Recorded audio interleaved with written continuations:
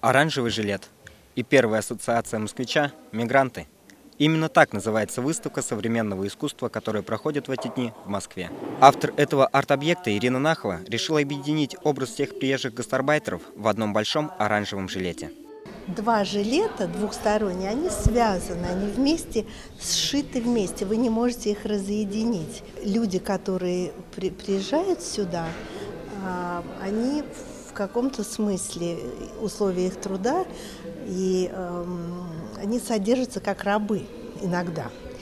А, поэтому связаны одной цепью, связаны а, не, люди, которые не могут разъединиться. Если бы все люди были казахские, так назвал свою картину художник из Казахстана Куаныш Базаргалиев. Одним взмахом кисти сделать из европейца человека с восточным разрезом глаз легко, а в жизни все не так просто. Мигранты чаще чужие, чем свои. Он сказал, что миграция, само понятие, оно позитивное. Другое дело, в каких условиях оказались мигранты. И если у нас э, в стране где-то, а может быть во Франции, Германии есть э, не э, толерантные мигранты, которые как бы э, ну, ведут себя неадекватно и так далее, это прежде всего от условий, в которых они находятся. Похоже, сближение художников и мигрантов – новый социальный тренд в столичном искусстве. На это есть основания, объясняет куратор выставки Анушка Браше.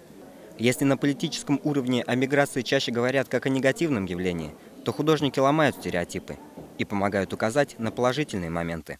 Художники не понимают процесс миграции узко и негативно, потому что они работают с культурным процессом, и вот и визуальная культура, и музыкальная, на ней положительный момент миграции как раз более заметен. И то, что мы слышим негативная миграция, как определение, как к ней отношение, это какое-то сиюминутное, чисто политизированное, там, желтый пресс или что-то. И вовлекая в это художников, у вас расширяется это понятие и теряет свой, свой негативный смысл. На биеннале представлены арт-объекты художников из Центральной Азии и России. Посетить экспозицию и, возможно, сломать собственные стереотипы можно до 13 октября. Максим Черепанов, Максим Фоменко. Специально для телеканала 1612.